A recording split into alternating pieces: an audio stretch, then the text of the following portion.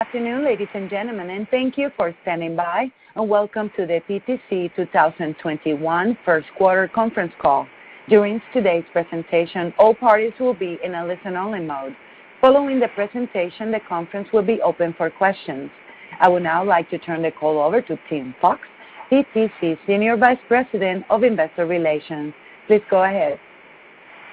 Thank you, Carmen. Uh, good afternoon, everyone, and thank you for joining PTC's conference call to discuss first quarter 2021 financial results and the outlook for the remainder of the fiscal year. On the call today are Jim Heppelmann, Chief Executive Officer, and Kristian Talvitie, Chief Financial Officer. Before we get started, please note that today's comments include forward-looking statements, including statements regarding future financial guidance. These forward-looking statements are subject to risks and uncertainties and involve factors that could cause actual results to differ materially from those expressed or implied by such statements. Additional information concerning these factors is contained in PTC's filings with the SEC, including our annual report on Form 10-K and quarterly reports on Form 10-Q. As a reminder, we will be referring to operating and non-GAAP financial measures today on today's call. Discussion of our operating metrics and the items excluded from our non-GAAP financial measures and a reconciliation between GAAP and non-GAAP financial measures are included in our earnings press release and related Form 8-K. References to growth rates will be in constant currency unless otherwise noted. And lastly, we'll be referencing our earnings presentation, which you can find posted on our IR website. With that, I'd like to turn the call over to Jim. Thanks, Tim. Good afternoon, everyone, and thank you for joining us. I hope that you and your families continue to stay safe and well during this ongoing pandemic. Before jumping into our quarterly review, I'd like to begin by discussing the news we shared two weeks ago about closing the Arena acquisition and some related organizational changes. Turning to slide four in the deck. First, we're very pleased to have closed the acquisition and would like to formally welcome the Arena employees to the PTC team. As we discussed at our recent Investor Day, we're excited to complement the strong momentum we have with Creo and Windchill in the traditional CAD and PLM market with the leading CAD and PLM solutions in the pure SaaS market. Together, Arena and Onshape represent a powerful, pure SaaS solution that's number one in technology, customers, and revenue. With this combo, we're positioned to capture the rapidly emerging shift towards SaaS for product development, manufacturing, and support. There's clear evidence that the global pandemic has been driving a new normal in our industry, and we're now in a position to lead the product development market well into the future. We also announced an organization strategy that I'm excited about. We're expanding our SaaS business unit, initially built around Onshape and Vuforia, to embrace Arena as well. This will put us in position to pursue technology, business process, and revenue synergies across this SaaS portfolio. The expanded business unit, which now accounts for about $100 million of ARR and about 20% of PTC's bookings, will be led by longtime PTC leader Mike DiTullio. Mike will focus on integrating the Arena team and leveraging the tremendous talent and expertise we have across our SaaS portfolio. With his proven track record of aligning organizations to drive growth, I'm confident that in this new role, Mike can help us fully capitalize on our SaaS leadership position. I'm also pleased to announce that Jamie Pappas will succeed Mike as Head of Global Sales, reporting to our Chief Operating Officer, Troy Richardson.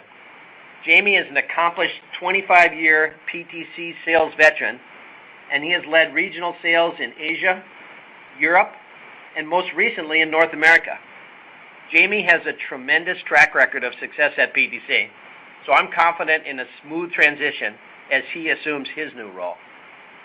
With that, I'd like to turn to slide five and review the three key elements of our strategy to deliver long-term shareholder value.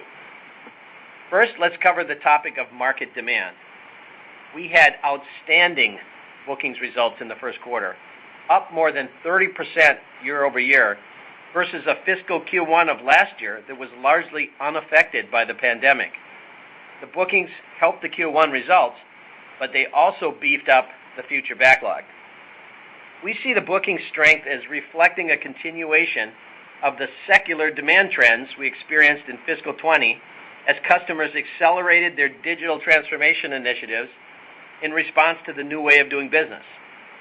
Industrial companies are prioritizing initiatives like moving all product lifecycle processes online across their entire enterprise with PLM, remotely monitoring their products in factories with IoT, bringing digital productivity to their frontline production workers with AR, and they're generally getting more and more interested in SaaS as they go forward. For PTC, this all translates into more demand for our unique product portfolio, and we see a strong pipeline heading into the balance of the fiscal year. Given that the global PMI number reached its highest point in three years in December, we also believe PTC's strong Q1 bookings may have reflected improved customer optimism around promising vaccine news, stimulus policies of the new administration in Washington, and perhaps even some calendar year-end budget flush. We hope that optimization or optimism continues, but with mixed news related to the global pandemic, including concerns about new strains of the virus, we're not sure that we're out of the woods yet, and we continue to think that our outlook for the year is prudent. In the top-line category, a combination of strong bookings and lower than expected churn translated into a very strong quarter with ARR growth of 16% or 12% in constant currency. This was at the high end of our guidance range and was driven by continued momentum in our core business and solid performance in the growth business. Revenue growth of 20% was well above guidance, resulting from strong large deal activity in the quarter. In the bottom-line category, we delivered strong free cash flow of 111 million and non-GAAP EPS growth of 70%, reflecting a combination of strong top-line results combined with continued operating expense discipline. In the wake of this strong first quarter, we are increasing our guidance for the year, and Kristian will share the details later in the call. With that as context, let's take a look at the respective contributions of the FSG, core, and growth segments of our portfolio. Moving to slide six, you'll see that ARR in our Focused Solution Group, or FSG, was flat year-over-year. But ARR growth was robust in our much larger core business once again, and the mid-20s growth performance of our growth business tracked to our guidance for the year. You might note visually that the growth business has now reached roughly the same magnitude as FSG, and with Arena coming into the picture, it will soon step up about 30%, and then with its higher growth rates, it'll soon become much larger, driving the combined portfolio toward higher growth rates as well. Recall that our FSG segment has exposure to certain industries heavily impacted by the pandemic, like retail and airline industries. However, our FSG products remain important and are very competitive, and we continue to expect FSG to recover to low single-digit ARR growth in fiscal 2021 as economic conditions improve. We've seen some good progress in retail already, but as you know, the airline business remains difficult for everybody. Naturally, we're very pleased about the 12% ARR growth of our core business, which materially outpaced the market growth again. Q1 was the 13th consecutive quarter that our core business ARR growth rate has been in double digits. As Jay Vleeschhouwer pointed out in a recent report, PTC has of late enjoyed the number one growth rate in the traditional CAD industry with Creo, and our Windchill business has been doing even better. Meanwhile, our growth business had another strong quarter with year-over-year bookings growth of nearly 40% and delivered ARR growth in the mid-20s in line with our guidance for the year. Let's go a click deeper into the main elements of our core and growth segments. Turning to slide seven, our Creo CAD team delivered another impressive quarter with ARR growth in the high single digits. The improvement in the demand environment that we started to see in Q4 continued this past quarter with strong performance across all major geos. And in a market that tends to see very little replacement activity, we had some notable CAD competitive displacements, which speaks to the technological strength of the Creo product suite. Our CAD technology leadership was further extended with the latest release of Creo 7, which incorporates our first Atlas-based offering. Creo Generative Design Extension, or GDX as we call it, leverages the Frustum generative design engine acquired in 2019, with the compute being offloaded to an Atlas pure SaaS elastic computing environment from where it's served to Creo sessions now and soon to Onshape sessions as well. We also released the high-fidelity mainstream simulation capabilities of Ansys, fully integrated into Creo, creating another highly differentiated leg of growth for our CAD business. Speaking of Ansys, on slide eight, we highlight a great Creo and Creo Simulation Live, or CSL win, with SharkNinja. SharkNinja is becoming a household name, and to respond to the growing demand for its products in a very competitive space, Shark SharkNinja reevaluated its design technology and decided to phase out competitive CAD systems and standardize on Creo, adding CSL to help accelerate their new product development cycle times. Moving on to slide nine in our PLM business, you'll see that PLM continued to deliver very strong performance with another mid-teens ARR growth quarter. From a geographic perspective in Q1, PLM performance was broad-based with double-digit growth across all three major geographies, led again by the APAC region. Thanks to its key role in digital transformation initiatives, PLM continues to be a major growth engine for PTC. From a vertical perspective, our PLM team continues to win big in the medical device space, but market traction in the first quarter was strong across a number of verticals, including automotive, aerospace and defense, and high tech. Turning to slide 10, a great proof point in A&D was a major extension and expansion at Airbus, which also happened to include a competitive displacement in one of their divisions. Along with the Windchill footprint expansion, Airbus adopted ThingWorx and Vuforia in their manufacturing environment, which is another great example of the cross-sell opportunity within our product portfolio. Given today's difficult air transportation market, airframe companies are being careful with spending, but thanks to this deal, PTC is locked into a substantial long-term relationship with Airbus. You'll see on slide 11 that we had a great cloud-based Windchill win at Terumo in the medical device space.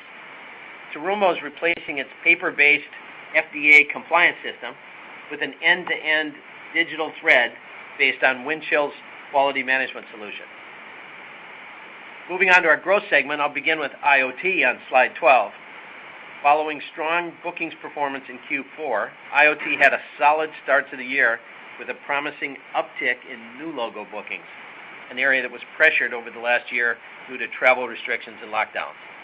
Demand was broad-based across verticals, and we had some sizable expansion deals in the process manufacturing space, which is greenfield for PTC.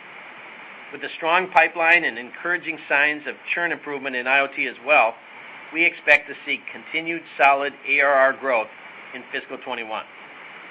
On slide 13, we have an example of ThingWorx in the process manufacturing space at Griffith Foods. Operating in a market that has relatively thin margins, Griffith Foods was looking for ways to accelerate efficiencies in its production environment.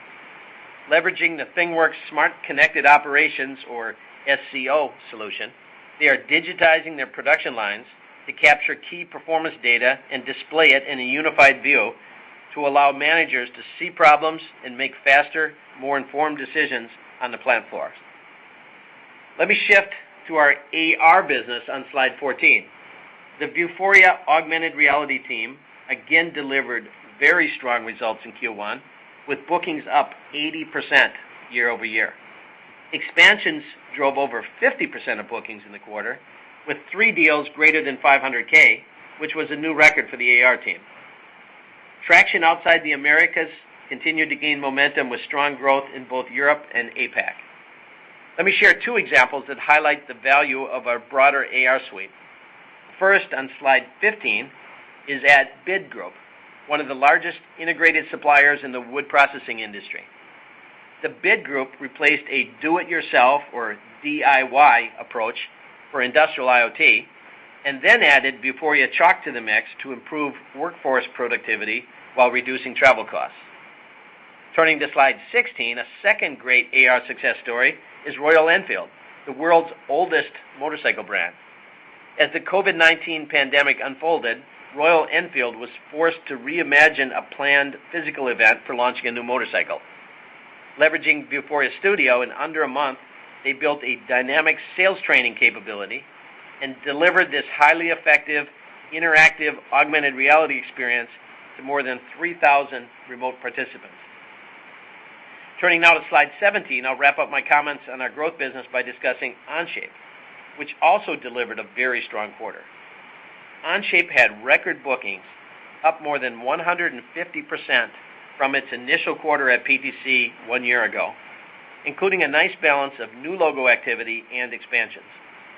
Onshape's pure SaaS CAD solution is quickly becoming a disruptive force in the SMB space, shaking up a mature market segment where PTC has been underrepresented for years. I'd like to update you on the exciting trends we're seeing in the education market with Onshape. As the COVID pandemic unfolded, we saw a real opportunity to help schools and universities because we have the only true school-from-home CAD solution that works on any device with no installed footprint. PTC's academic team decided to pivot their focus to Onshape and set an aggressive goal to try to reach 1 million total education users by the end of fiscal 21. To put that in perspective, it's double the number of users that were participating in our education program across all PTC products at that time. I'm happy to report that already in January, we've exceeded the goal of 1 million total Onshape education users, nine months ahead of schedule. Onshape is quickly becoming the education standard, thanks to one of the greatest share shifts I've experienced. Students and teachers love it. Clearly, we caught a wave as world events and the changing needs in education have accelerated this achievement. It's been incredibly rewarding to see how many educators and students have been able to take advantage of Onshape. Students who would not normally have access to CAD are now able to engage in STEM classes. Robotics teams are able to compete even when their season is canceled, and educators have been able to seamlessly continue their instruction because of their access to Onshape. On slide 18, we highlight one of the many school systems supporting their K-12 STEM education program by adopting Onshape, in this case across the Charlottesville City School System. Gaining 1 million student users is a huge milestone with significant implications for PTC well into the future.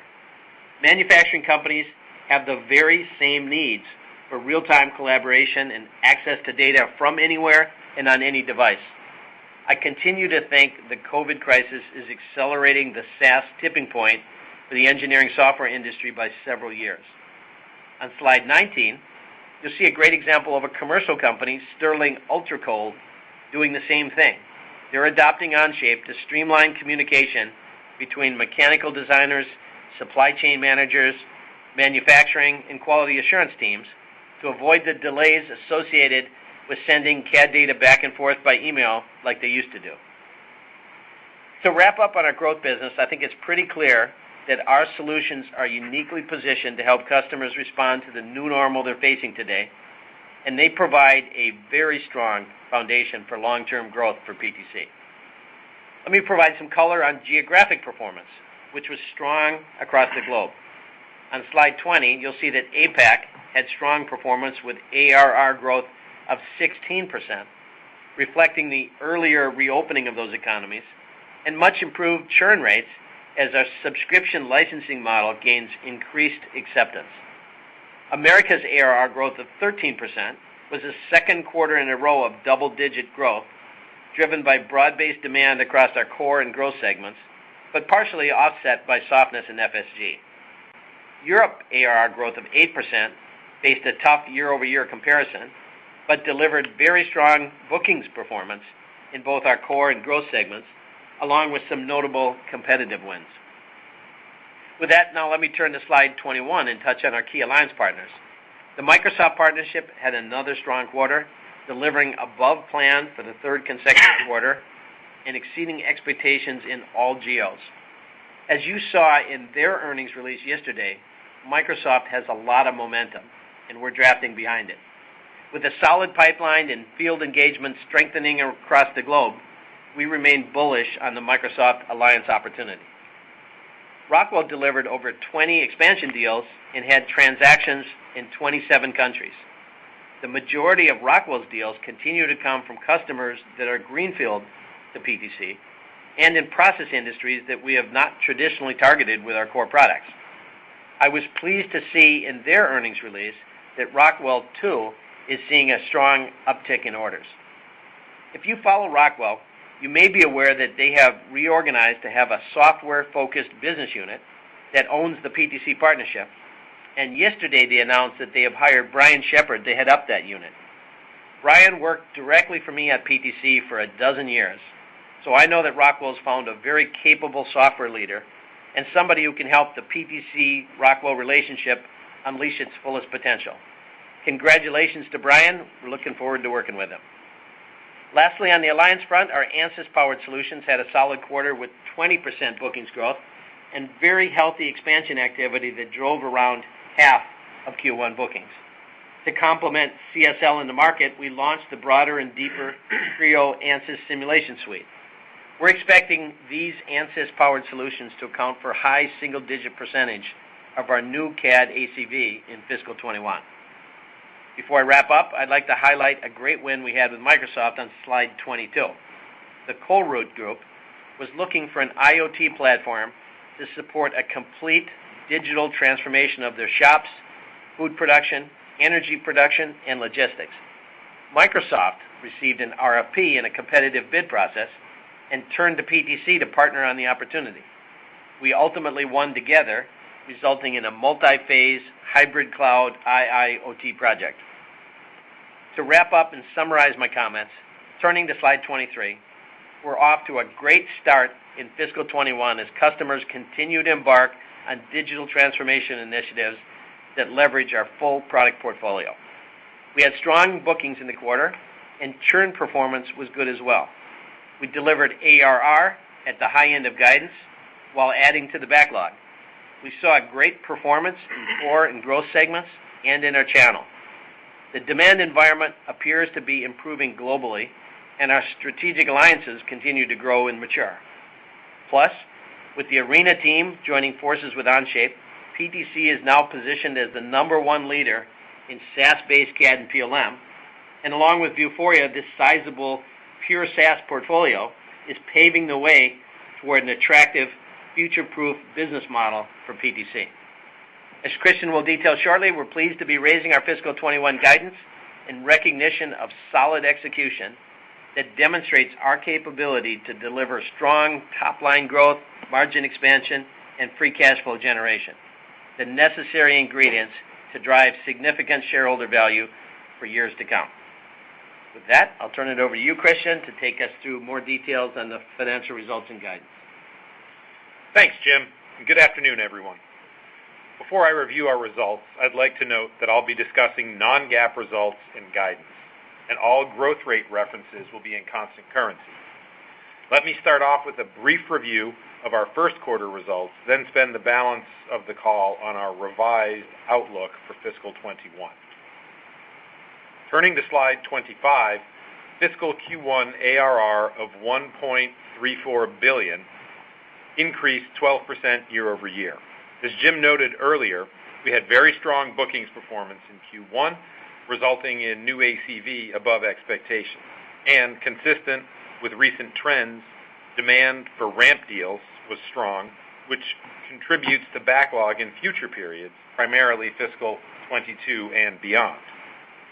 With solid new ACV results, along with churn coming in better than expected, we were pleased to deliver constant currency ARR growth at the high end of the guidance range.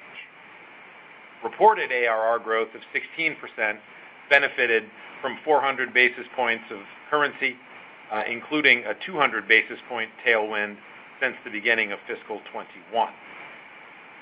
Strong Q1 free cash flow of 111 million was a record Q1 result for PTC.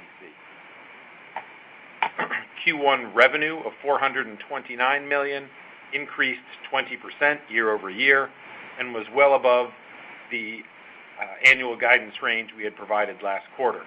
Revenue performance was driven by very strong large deal uh, results in the quarter, many of which had long contract duration.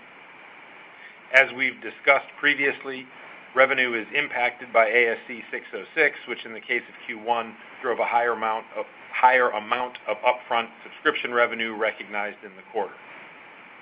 Uh, currency was also a modest revenue tailwind. The strong revenue growth, along with continued financial discipline, resulted in non-GAAP EPS growth of 70% year-over-year. Turning to page 26, I'll begin with our balance sheet. We ended Q1 with cash of $399 million and $1 billion of gross debt with an aggregate interest rate of 3.8%. Subsequent to the first quarter, we financed the Arena acquisition with 600 million from our revolving credit facility and cash on hand.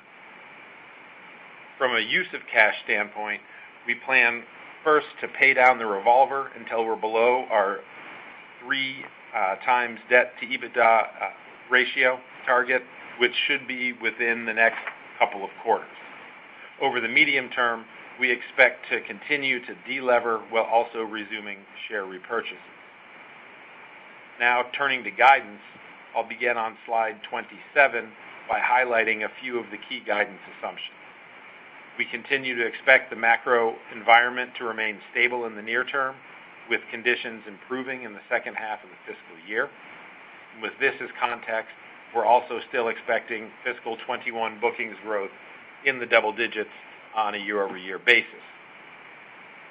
Given our strong Q1 performance, we're raising the low end of our organic ARR growth from 9% to 10%, resulting in a range of 10%-12% uh, growth for the fiscal year. We're expecting Arena to add approximately 400 basis points of ARR growth and currency to add approximately 200 basis points of ARR uh, growth relative to our previous guidance. Regarding ARR in fiscal 2021, on a constant currency basis, we continue to expect growth rates to be fairly linear uh, each quarter throughout the fiscal year. Now for the specifics. Turning to slide 28, we're expecting fiscal 2021 ARR of $1.47 billion-$1.5 billion. That's a growth rate of 16%-18%. Free cash flow is still expected to be approximately 340 million for the full year, which is growth of approximately 60% year-over-year. Note that currency is also benefiting free cash flow by about 15 million. However, this benefit is being offset by an unforecasted foreign tax assessment related to a matter that's been open for a few years. Uh, this tax matter is also reflected in our GAAP results. As you'll note, a $35 million charge that covers the periods from 2011 uh, to 2020. This charge reflects a previous assessment paid in 2016, uh, as well as the current expected assessment.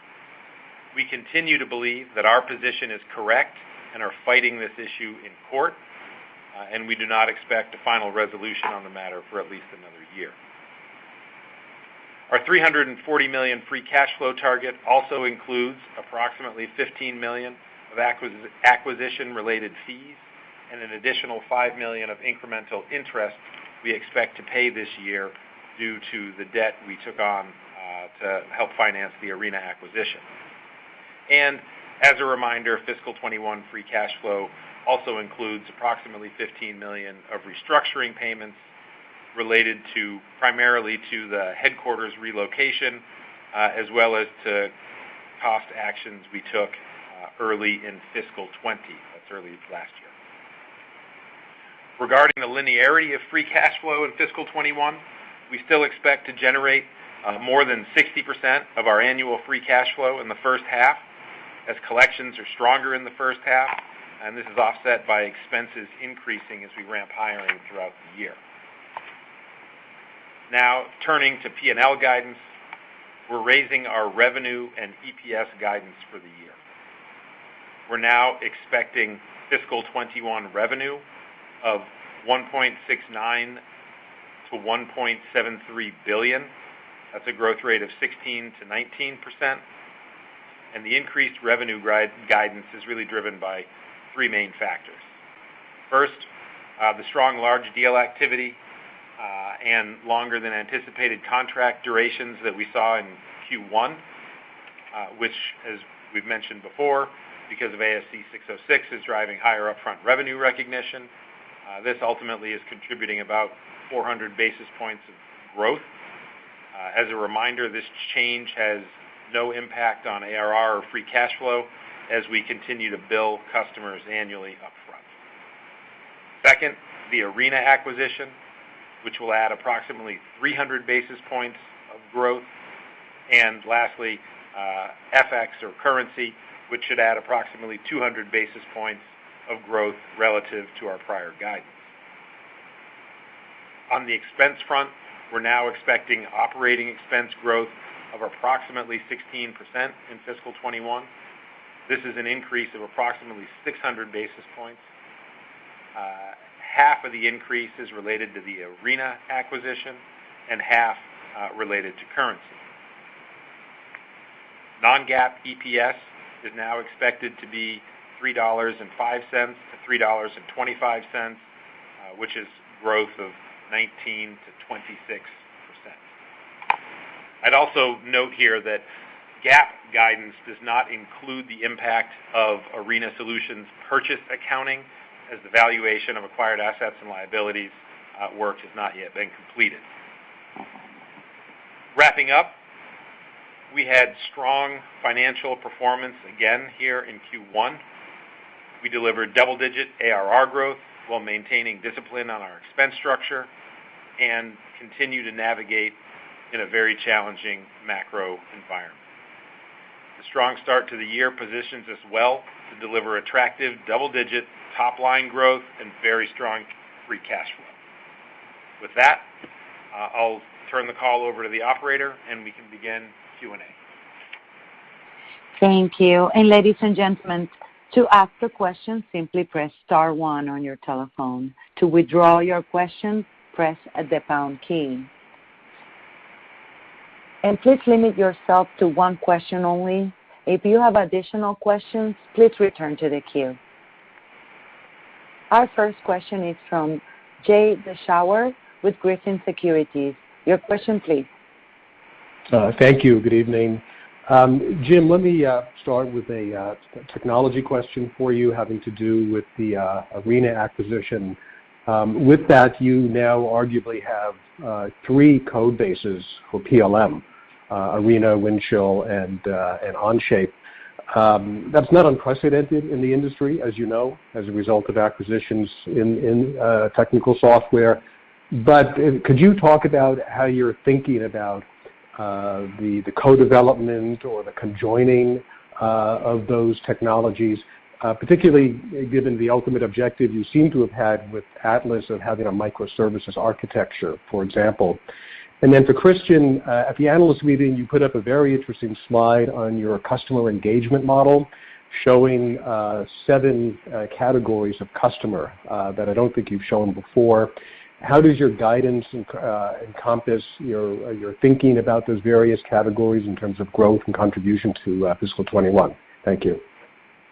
All right. Great. Thanks, Jay. Well, Kristian, you can start thinking about the answer to that while I get this one. Yeah. So it's a it's a good observation. I mean, uh, we had Windchill, then we acquired Onshape, and they were two different things, and now we acquired Arena. So yes, in fact, we have three. But uh, Actually, we do have a very uh, well-understood strategy. So so First of all, um, we will begin the process of uh, looking at the best ways for Arena to use more and more of the Atlas platform that came to us with Onshape. To be frank, uh, Arena uh, and Onshape don't do exactly the same things. You know, Onshape's more like uh, file management, except not really files, but more like data management and collaboration, and Onshape's more like bill of materials. So those two things do different things, but they will, over time, share more and more of a common architecture called Atlas. So then that still leaves Windchill. Um, so we have shared kind of a midterm project that we are developing versions of Windchill and Creo that will use the Atlas platform to a great extent so that they can be delivered in a SaaS model, but those products will retain full upward compatibility from the on-premise versions that exist today. Now we'll continue to maintain an on-premise version. So you might say we're going from three to two to one and a half or something like that.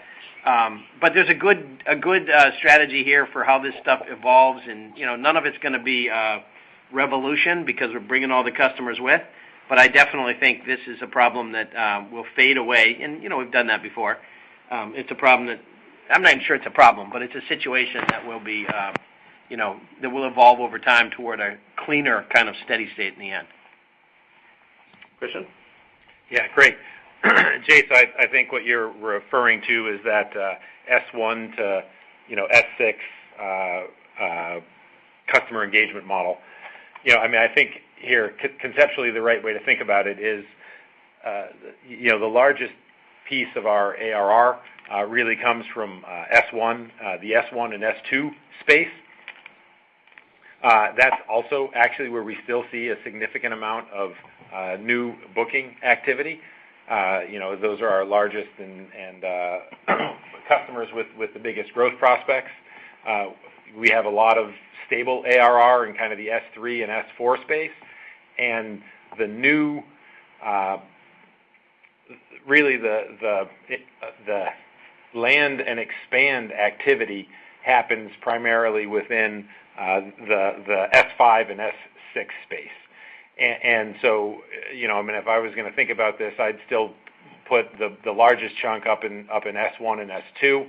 Uh, we're seeing a lot of momentum in the S5 and S6. You know, Tim, Uh, or we actually mentioned on the call uh, that we've seen a little bit of a resurgence in new IoT customers coming back in.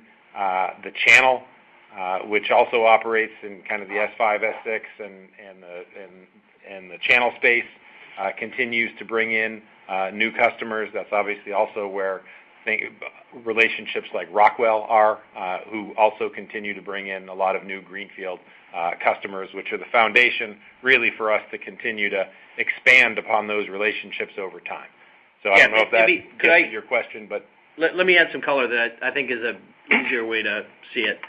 Um, I think if you look at it by product, you get a different story because uh the size, the relatively larger size of some products kind of overwhelms that story. Uh, arena and Onshape are all about new accounts.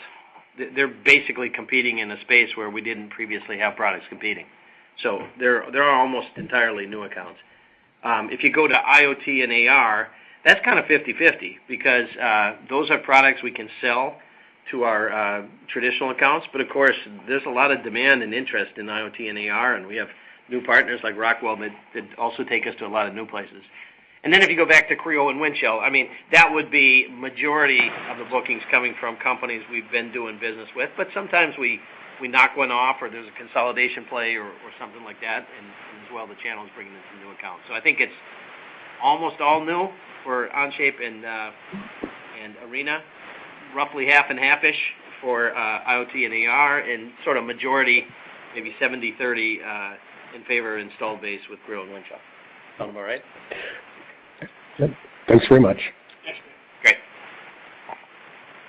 Thank you. Our next question comes from Adam Borg with Stifel. Your question, please. Adam. Hey, guys. Hey, guys, and uh, thanks for taking the questions. Uh, maybe just two real quick. Um, first on Arena. Um, Can you just remind us on Arena's kind of international footprint and what's the plans to kind of expand that both direct and via channel? And then maybe two, just on Ansys. So thanks for the color of how you're thinking about uh, Creo Simulation Live and Creo Simulation growth over the back half of the year. When you think more broadly, how addressable is the Creo Simulation technology to your broader install base? Um, thanks for that. Yeah. Um, so uh, let me say, uh, on your first question, Arena Arena is predominantly a U.S. business. Um, to a very great degree, sold to American companies, although some American companies have users overseas. But it hasn't really been sold to companies overseas, uh, with just a small small exception. Um so the first thing we're gonna do with Arena for sure is go international with it. I mean, that's a good piece of uh, growth we ought to be able to go after as a synergy.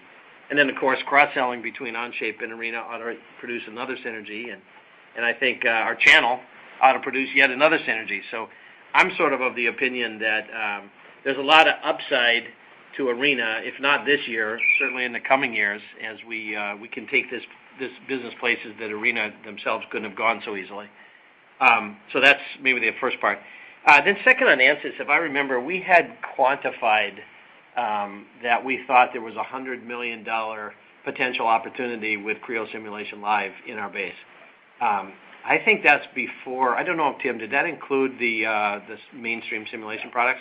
No. So I haven't quantified that, but uh, you know, well more than 100 million because the uh, the rest of the Ansys suite actually comes at a at a higher price point. We probably get less penetration because some of them might already have purchased it from Ansys or one of their distributors.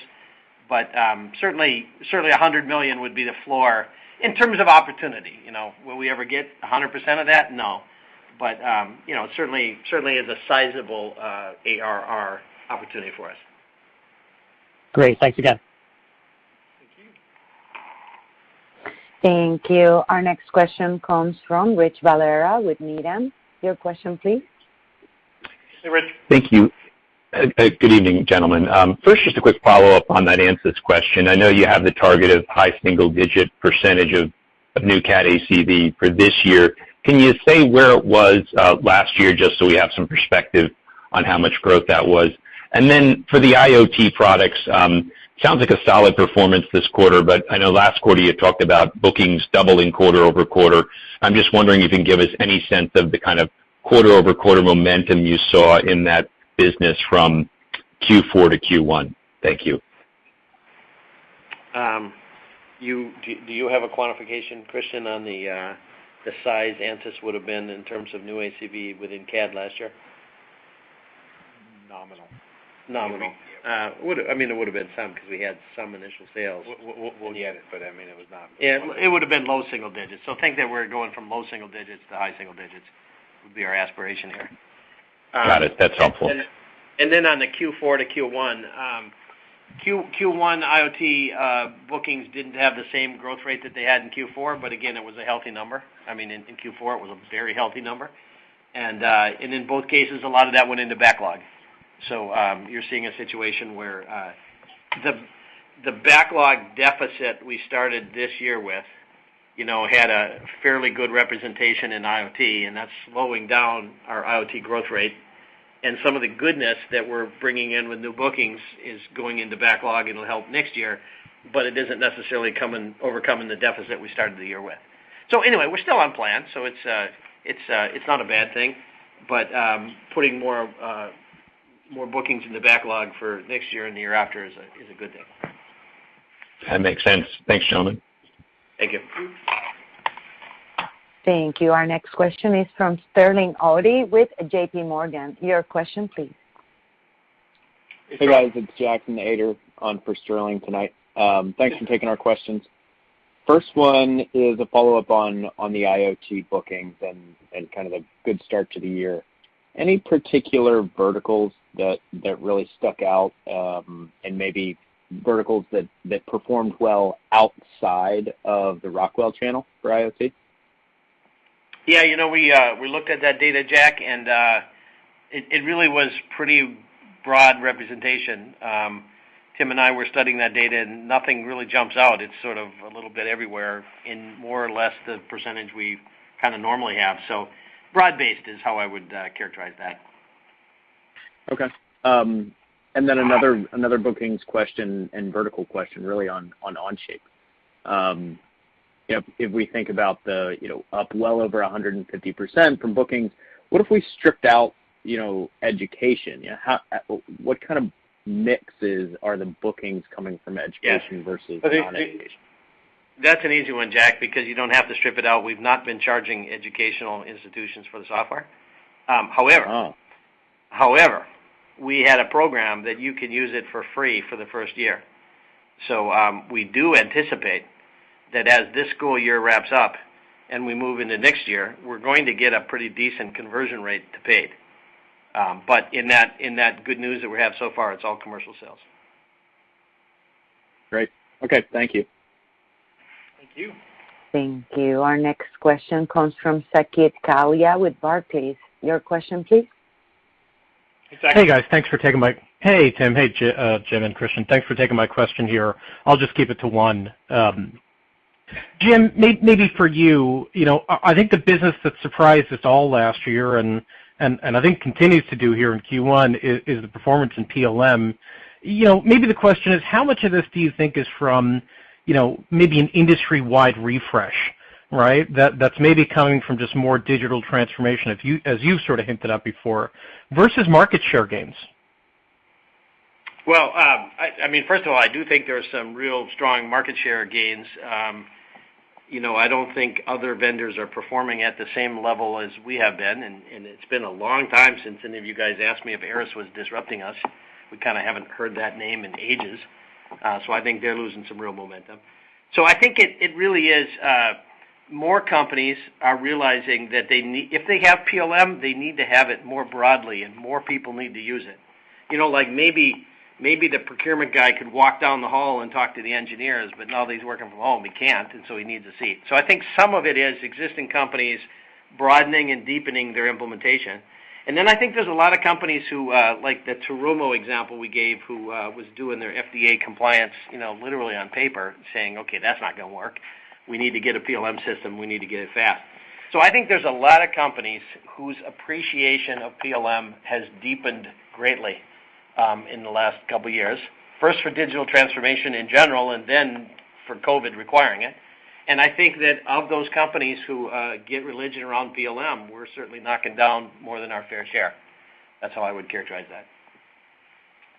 Got it. That's very helpful. I'll hop back in queue. Thanks. Thanks. Thanks, Saket. Thank you. Our next question comes from Joe Vruwink with Baird. Your question, please. Hey, Joe. Hi. Joe. Hey. Hi, everyone. Uh, I'll try to squeeze in two. One more near term. From the uh, the mid-December comments on ARR, the quarter definitely finished stronger than that communication. Is there any activity that came in at quarter end? Uh, I know you talked about maybe some year-end budget flush, but anything else, you know, the fact that large deal signings seem to be working back into the mix where you would maybe point to quarter-end activity and think you know, it perhaps is early, but these developments are new and maybe could be extrapolated into something changing? And then the second question, it kind of gets back to the PLM question that was just asked, but you know, the verticals of high tech, life sciences, aerospace, and defense, these have been really strong for PTC pretty consistently, and now you're adding Arena, which is strong in those verticals as well. So is there something specifically about those markets and how they're viewing PLM that really has benefited the fact that PTC has good exposure there? Yeah. Um, so uh, let's take the first one. Um, our mid-December comments, uh, Kristian said uh, he anticipated we'd be in the middle of the 9-12 range, and we came in at 12. I think, uh, you know, to be frank, what happened is we review the forecast every single week on Fridays, and we raised it four times in December. So by the time we had that meeting with you, we had raised it once, but you know, a couple days later, we raised it again, and then twice more. So um, if you study the PLM performance, as as of course we do, Um, what you'd see is that it wasn't on the backs of any one geography or any one vertical or any one big deal. It was just a lot of deals of all sizes in all geographies across a bunch of different verticals. I mean, it just felt like just good, solid business everywhere as opposed to you know some surprise. Um, I think uh, if if you if you go to the verticals question you asked, um, I think Arena uh, is very strong um, in high tech and very strong in general in SMB. Now, high tech does tend to have a lot of SMB customers, and the other thing about high tech is uh, product life cycles tend to be very short. You know, if you make uh, 777s like Boeing does, it's very hard to switch CAD systems because those products last for decades. But if you're making uh, consumer handheld devices, you know, the life on one of those things is pretty darn short, and the next version isn't based on the last version, so you can switch tools much more easily. So I think in general, electronics and high tech is a fast cycle market, and it's easier to get a share shift to happen there, which which helps both Onshape and Arena, by the way. Um, now PTC does well in the larger electronics and high tech customers who probably are selling stuff that ends up in a rack in a data center and and you know, big uh, machines that have a lot of electronics in them and so forth, that aren't necessarily so short cycle and whatnot. Um, in the case of uh, aerospace and defense, I mean, uh, Arena does have some uh, aerospace and defense accounts that are generally small uh, suppliers to larger firms. Um, but I would say, you know, probably that's not that's not necessarily the best spot to sell Arena, um, other than if you're low in the supply chain. And there are a lot of small suppliers in the aerospace and defense uh, supply chain, in part because the government encourages that. So I think Onshape, and uh, you know we're also coming out with an ITAR version of Onshape for the same reason, uh, that these smaller these smaller accounts need something and really just don't have the wherewithal for the bigger, heavier enterprise systems that the that the you know masters at the top of their supply chain would would prefer. So I think, uh, maybe a long way of getting to the point, Uh, Arena and Onshape are very complementary to uh, Creo and Windchill. They do the same thing, but they appeal to different segments of the market. And the low end of the market doesn't want the high-end products, and the high end of the market today doesn't want the low-end products. That may happen over time, but right now it's all uh it's all incremental upside as far as I'm concerned. Uh, that's great. Thank you very much. Thanks, Joe. Thank you. Our next question comes from Matt Hedberg with RBC Capital Markets. Your question, please. Hey, Matt. Oh, Hey, guys. Hey, Matt. Hey, guys. Good evening. Congrats on a really strong quarter here in Q1. Jim, uh you know, I wanted to ask you a question about some of the CAD replacement deals. Obviously, those were really good to hear and obviously difficult to pull off. I'm wondering if you could provide a few more details on what drove those. And and thinking longer term, with all your investments in SaaS, CAD, and Atlas, do you think we might be in a scenario where you might see even more disruption in the future, some of these some of these CAD replacements, considering what you've done with SaaS versus some of your peers? Yeah. Um, uh, so uh, there's two in particular I'll talk about. One really was SharkNinja. Um, let me let me cover the other one first. It was a uh, European OEM. I can't tell you who it was. I will be able to at some point, but not yet. I don't yet have permission. An OEM who had both our software and our CAD software and the competitors and used them both, as many large OEMs do. Um, and they decided that they didn't like that anymore, and they'd really prefer to have one tool, and if they had to go from two to one, they were going to Creo. Um, so that was a pretty substantial displacement of a very well-known high-end product. And then um, the other case really was a displacement of a very well-known low-end product, You know, where this account, said, uh SharkNinja, said, "You know, "We really like what Creo can do, and we really like CSL and so forth, and we too don't like having two sets of tools. And if we had to pick one, we'd pick Creo." So, kind of at opposite ends of the Creo range, if you will, we're displacing different products from the same vendor. And uh that vendor, you can guess who it is, has has kind of left their customers a little frustrated. Uh, some of their business policies, some of their technical strategies you know, aren't well accepted by the customers, and it's creating some discontent, and some of that discontent turns into switching. You know, especially if you're looking at two tools and you're saying, "I wish we had one." Well, I really like those PTC guys. Their tools are great, and they're better to work with, and uh, you know, off we go. Thank you. Thanks, Matt. Thank you. Our next question comes from Gal Munda with Berenberg. Your question, please. Hey. Uh, yeah, thank you for taking my question. Um, Jim, I have a question for you in terms of the IoT. Uh, in the past, you've said that a lot of your IoT growth in the future will be obviously reliant on the partners and them bringing on incremental new opportunities, uh, mainly talking about Rockwell, obviously, um also Microsoft. Recently, uh, you know, a few days ago, you've announced a kind of a partnership with Fujitsu Smart Factory on on that on that um, kind of a IoT initiative. And I was just wondering how much how how does that compare to something like Rockwell, and how complementary it is versus how much is it is as a competitive channel to something like Rockwell as well, which clearly isn't fully exclusive, how does it work? Thank you. Yeah. I mean, there is no exclusivity there. Uh, what happened uh, with Fujitsu is, uh, as I understand the story, first they implemented our software in their factories, and it was quite successful. And then there is a system integrator arm of Fujitsu who said, "We'd like to take this showcase we've built in our own company and take it on the road and sell it to other companies." Um and so uh, you know, that's the nature of that announcement. Fujitsu as an SI is no Rockwell.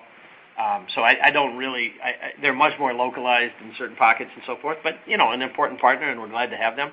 But uh, I don't think it's meaningful at the level of a Rockwell partnership.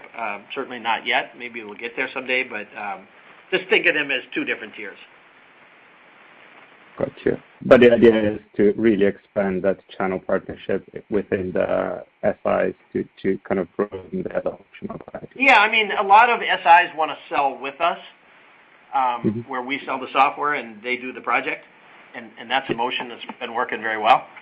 Um and then some SIs, you know, in some cases like Fujitsu, say, "Well, could we just sell it? Because you know, we have some uh we have some clients we'd like to we'd like to go basically sell them what we've done in our own company, and we'd like to take that order." So, um, but think that for every Fujitsu, there's multiple SIs that we sell with rather than through. Got you. Thank you. Thank you. And Our last question will be from Matthew Broome with Mizuho Securities. Your question, please. Thanks very much. Hi, Hi, Jim, Kristian, and Tim. Um, thanks for squeezing me in. Um, so, just in terms of the new uh, uh, SaaS business unit, is that more of an operational structure, uh, or is it also responsible for driving future SaaS strategy, you know, including M&A and maybe the migration of your core products? Yeah. I mean it's uh it's a business unit that's quite complete. It has R&D and marketing and sales. It doesn't really do services because we don't so much need that. Um but it's it's really a pretty complete business unit. It has a P&L. It has growth targets. We will make acquisitions for them. In fact, Arena was an example, but we've made a couple other little tuck-ins that we didn't announce because they were too small. Um but definitely that's a business. And the way I look at it, they're paving the path for a future PTC. Because at some point, our industry will really go to SaaS. I mean, it's starting to, and that's good, but at some point, you know, it'll tip right over like uh, other industries have. And at that point, you know, uh, that business unit will be bigger and bigger and you know, may may in fact be the future uh, center of gravity for PTC. It's not big enough. You know, at 100 uh, million, that's 100 on, you know, let's call it $1.4 billion. It's it's not yet 10%. But uh, you put Arena in there, and it steps up closer to 10%, and then you let that growth rate run for a while, and uh, you know, it won't be long before uh, it's quite meaningful to us. But um that's what they're doing. They're paving the path for a future PTC. Okay. That makes sense. And then uh maybe just quickly, uh, could you give us any idea in terms of what um, the win rates are for Onshape versus uh, you know, the competition? Yeah. Um, well, I think what it really comes down to is, does a customer want SaaS or not? If they want SaaS, then the win rate's exceptionally high. But they might decide they don't want SaaS for whatever reason, and it might be that other people in their company already use SolidWorks or what have you. Um, but but think of Onshape as a really good CAD system on a completely different deployment and business model. And the deployment and business model um, you know, is is even more differentiated uh, is more differentiated than the product itself is. I think smaller companies say, you know, "I really like the idea of being able to get to this data without having a server, without having a system administrator. Without having. You know, I like to be able to pick up my work at home on my Macintosh if I worked on it all day on a Windows workstation." I mean, that stuff's great. I like the real-time collaboration. You know, Onshape's a multi-user system, uh, where multiple users work together on the same designs at the same time, as opposed to multiple users working independently and passing data back and forth, which is how most other CAD systems work. So I think, again, I often say, think of it like electric vehicles versus internal combustion engines. It's religion at some level. And very few people get down to a short list that has uh, three of each. Um, somewhere in the decision-making process, they either say, I want electric, and now I'm down to a short list of electric vehicles, or I don't want electric, I'm going to stay with uh, internal combustion, and they end up with that short list. But I'm saying for those customers who say, I think I want SaaS, there's a good chance we're going to win that deal. Perfect. All right. Thanks very much. Thanks, Matt. Thank you. And ladies and gentlemen, this ends our Q&A session. I will turn the call back to Tim Fox for final remarks. Thanks, Carmen, uh, and thank everybody for, for joining us today on the call. Uh, we'll be out on the road uh, virtually um, over the next quarter, participating in a number of events. Um, please check out our website for details. Uh, and we do look forward to seeing you uh, this over the next coming months and certainly in 90 days. And thank you for your interest in PTC. Uh, have a great evening. Thank you, everybody. Bye Thanks, everybody. And thank you for your participation in today's conference. You may now